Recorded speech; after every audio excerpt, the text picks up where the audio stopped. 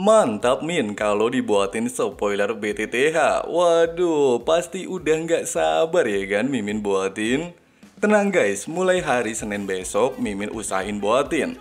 Tapi mohon maaf untuk sementara waktu BTTH hanya bisa buatin spoilernya aja ya guys ya. Soalnya pembahasan alur cerita tidak bisa lagi di up Pasti tahu ya kan alasannya Yaudah guys, seperti biasa kita akan kembali melanjutkan pembahasan spoiler alur cerita series Solen 2 bagian 76. Tapi sebelum itu kita rekap santuy dulu sedikit aja spoiler sebelumnya. Setelah mengetahui fakta, Baby dan rekan-rekannya dinobatkan sebagai tujuh monster Shrek generasi saat ini, Tang Ya justru memilih meninggalkan Akademi Shrek dan kembali ke wilayah kerajaan Tiando untuk membangun ulang Sekte Tang. Sementara itu setelah melakukan latihan dua bulan penuh di bawah bimbingan Master Muon, Sio Sio berhasil menerobos kemacetan dan menembus level 30. Sudah siap mencari cincin roh ketiganya. Sementara Wang Dong berhasil menembus level 36. Secara bersamaan dengan hal ini juga, murid-murid tahun kedua, tepatnya kelas 1 dan kelas 2 terlihat ingin melakukan pertandingan persahabatan. Lalu gimana sih keseruan dan kelanjutan spoiler di bagian kali ini? Jadi langsung aja kita terobos versi novelnya ya guys ya.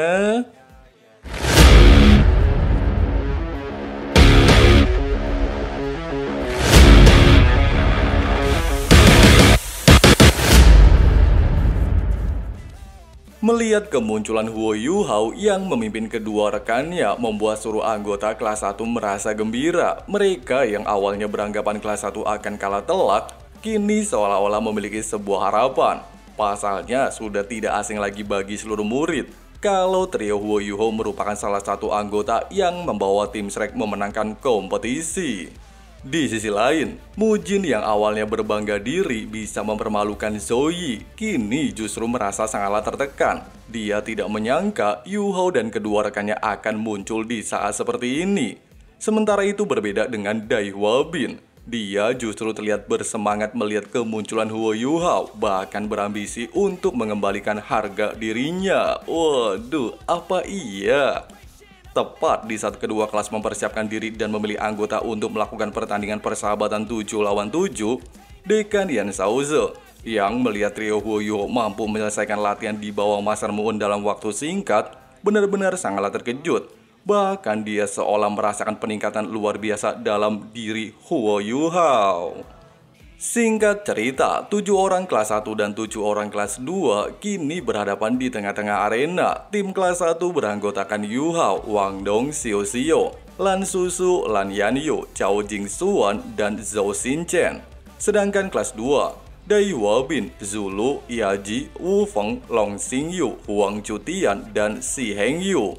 Tepat ketika wasit menyatakan baku hantam dimulai, Yu Hao lantas menggunakan kemampuan deteksi kepada seluruh rekannya, kemudian menggunakan kemampuan ilusinya, seolah-olah menciptakan teknik fusi roh jalan surgawi, sehingga membuat formasi tim Dai Hua Bin berantakan, terpisah menjadi dua kelompok. Tidak menyia-nyiakan kesempatan ini, Lan Su dan Lan Yu lantas menggunakan teknik fusi roh tornado rambut menahan tiga anggota tim musuh dengan bantuan Chao Jing Suan sehingga pertandingan di sisi arena tersisa 4 lawan 4. Kerjasama luar biasa Edun yang ditunjukkan kelas 1 mengacaukan formasi kelas 2 jelas diacungi jempol oleh Dekan Yan Souze hanya dalam hitungan detik Yu Hao mampu mengatur pertandingan di bawah kendalinya. Waduh, ya jelas ya guys ya. Orang yang pernah mengikuti tingkat kompetisi antar akademi sama antar kelas mah beda ya kan? Jadi baku hantam kayak gini mah bagikan upil di mata Yu Hao ya kan?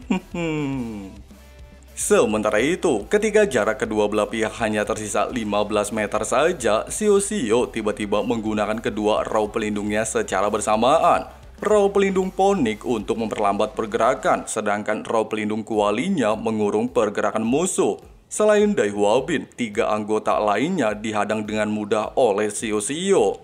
Tidak membuang-buang waktu melihat Dai Huabin seorang diri, Wang Dong lantas menggunakan sayap radian kupu-kupu membawa Yu Hao menghadapinya.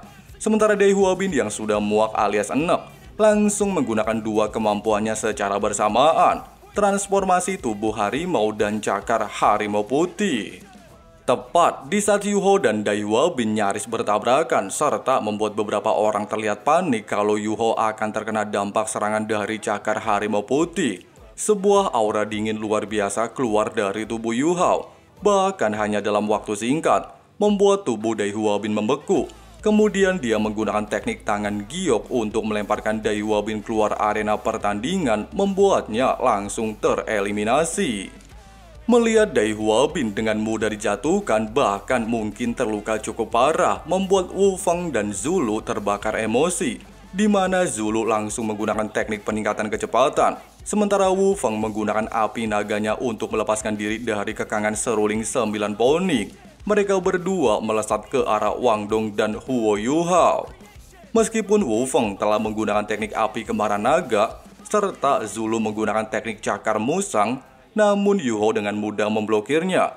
Selain mampu memadamkan api Wufeng dengan sangat mudah menggunakan domain Kaisar Es, Wang Dong juga dengan mudah memblokir serangan Zulu menggunakan teknik sabit bulan, sehingga membuat kedua orang tersebut terlempar beberapa meter sampai tidak sadarkan diri. Melihat seluruh anggotanya berhasil dijatuhkan hanya dalam hitungan detik serta hanya tersisa dirinya saja seorang diri, Xie Heng Yu pada akhirnya mengakui kekalahan. Pasalnya tidak mungkin baginya berjuang seorang diri menghadapi gempuran tim kelas 1. Waduh, pertandingan yang terlalu easy ya guys ya. Tepat di saat seluruh orang merasa bangga dan tercengang dengan kemampuan yang ditunjukkan trio Wo Hao, sebuah aura luar biasa Edun tiba-tiba muncul di gerbang Akademi Shrek. Bahkan terdengar sebuah suara yang memanggil Elder Swan untuk menunjukkan diri. Merasakan aura luar biasa hebat yang kemungkinan berasal dari Master tingkat tinggi membuat Dekan Ian Sauze ketar-ketir bukan main. Dia lantas meminta semua guru untuk mengevakuasi setiap murid kembali ke dalam asrama. Sementara itu, baik Skyrim dan Bing Er yang juga merasakan kekuatan luar biasa dan setara dengan Master Pavilion Dewa Laut, lantas meminta Yuho untuk waspada. Akan tetapi belum sempat Yuho memikirkan hal tersebut, sebuah formasi cahaya tiba-tiba mengurungnya bersama Wang Dong dan Xiao Xiao, di mana formasi ini diciptakan oleh Dekan Yan Shaoze. Dia berniat membawa mereka menuju pavilion Dewa Laut. Tidak berselang lama, pasca kepergian Dekan Yan Shaoze dan Elder Swan sendiri muncul di tempat ini. Sebuah cahaya luar biasa hebat yang awalnya terbentuk di gerbang akademi, berubah menjadi sosok pria tua Orang ini tidak lain adalah ketua sekte tubuh bernama Dubusi. Dia berada di level 98 puncak, mendekati level 99. Di belakangnya ada sekitar 30 anggota memiliki 8 cincin roh. Tujuan Dubusi datang ke tempat ini, selain ingin mengambil Huo Yuhao, dia juga ingin membalas perbuatan Elder Suan yang sebelumnya menghina anggota sektenya.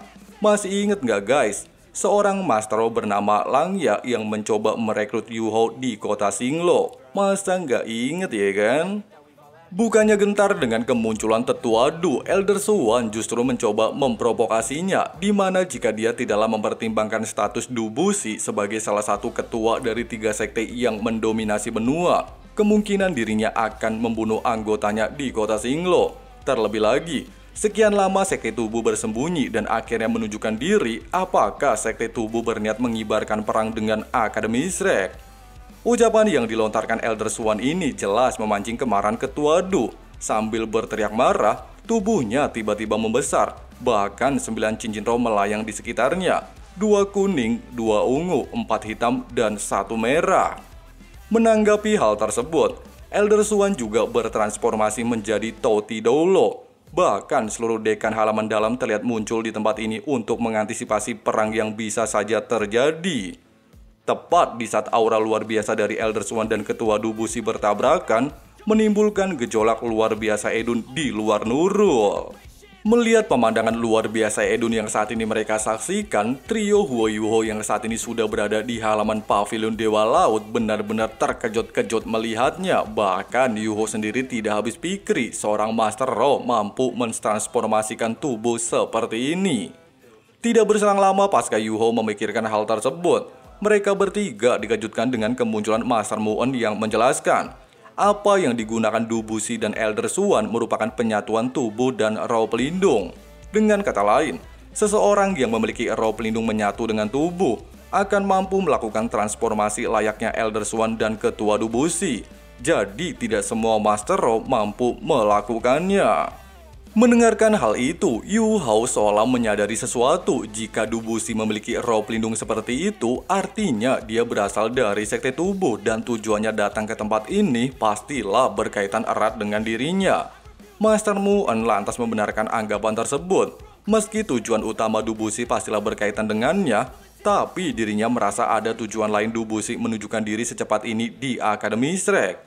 Mengesampingkan niat dan tujuan musuh, Master Muan lantas menjelaskan, pada dasarnya, penelitian sekte tubuh terhadap roh pelindung jauh lebih hebat daripada Akademi Shrek. Dengan kata lain, jika Yuho bergabung dengan sekte tubuh, maka potensi roh pelindung mata spiritualnya pasti tak terbayangkan. Oleh sebab itu, jika Yuho saat ini memutuskan untuk bergabung dengan sekte tubuh, maka dirinya tidaklah akan menyalahkan dirinya. Pasalnya hal tersebut pastilah bermanfaat untuk masa depannya.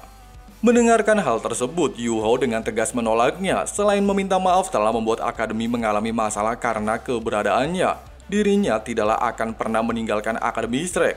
Selain Sekte Tang dan Akademi Shrek, dirinya tidaklah akan pernah bergabung dengan aliansi mana pun. Sementara itu, pertarungan antara Elder Swan dan Ketua Dubusi terlihat berjalan luar biasa edun. Bahkan demi bisa mengalahkan Elder Swan, Ketua Du terlihat menggunakan teknik kompresi kekuatan roh, menciptakan sebuah bola energi luar biasa mengerikan dan mengandung racun mematikan di dalamnya. Sambil berteriak memanggil Elder Swan dengan sebutan Swansea, Dubusi lantas melesat melepaskan kompresi kekuatan rohnya. Sementara Elder Swan menggunakan kemampuan barrier pelindung. Dalam sekejap mata, tabrakan dua kekuatan luar biasa Edun di luar Nurul terjadi, menimbulkan ledakan hampir 1000 meter jauhnya.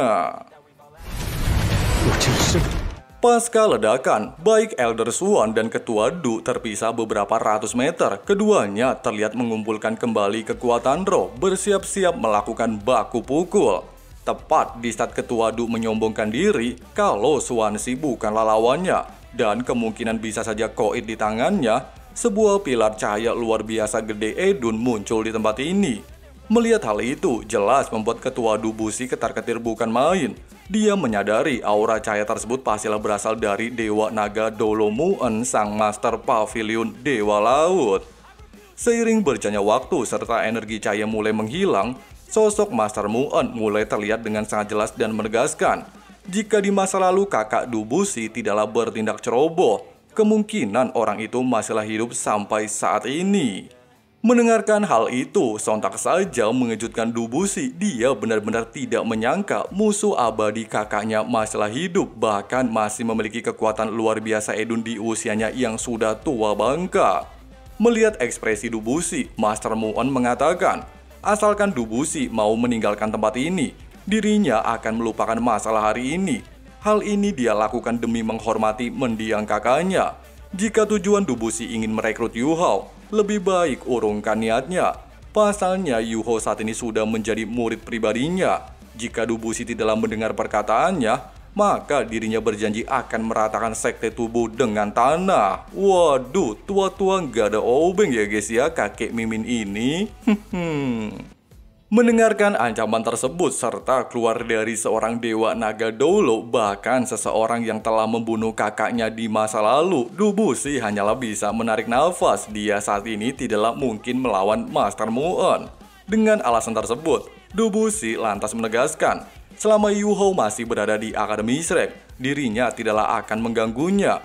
Tapi setelah dia keluar dari akademi, maka dirinya berjanji akan merebut Yuho dengan cara apa pun bahkan meski harus mempertaruhkan nyawanya. Setelah mengatakan hal itu, Dubusi melambaikan tangan. Sebuah portal dimensi terbentuk di belakangnya. Dia berbalik memasuki bersama 30 anggotanya. Tepat di saat portal hampir menghilang, suara Dubusi masihlah terdengar dan mengatakan, Aku tidak percaya, saat itu kakakku tidak meninggalkan luka fatal di tubuhmu. Nah, di sini terungkap fakta ya guys ya. Ternyata luka fatal yang diderita Master Moon itu disebabkan oleh ketua sekte tubuh generasi sebelumnya ya guys ya. Untuk lebih detailnya kita bahas di spoiler berikutnya ya. Nah guys, seperti itulah ending dari kedatangan Sekte Tubuh di Akademi Strike di mana Master Muon akhirnya turun tangan. Waduh, nggak kebayang betapa overpowernya sang Master di waktu muda dulu ya kan? Sampai-sampai bikin Dubusi level 98 ketar-ketir. Untuk pembahasan masa lalu Master Muon kita gas lagi di spoiler 77 nanti ya guys ya.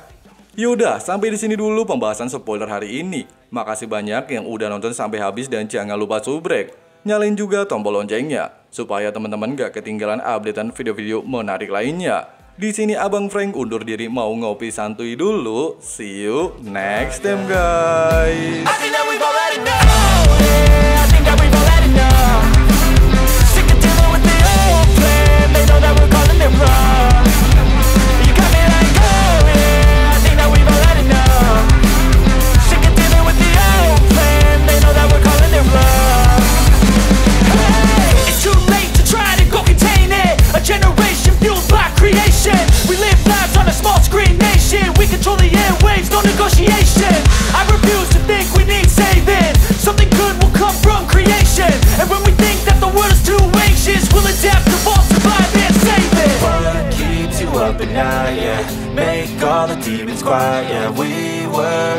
Thrive, yeah. I think that we've all had enough. Keeps you up at night, yeah? Make all the demons quiet, yeah. We were built to thrive, yeah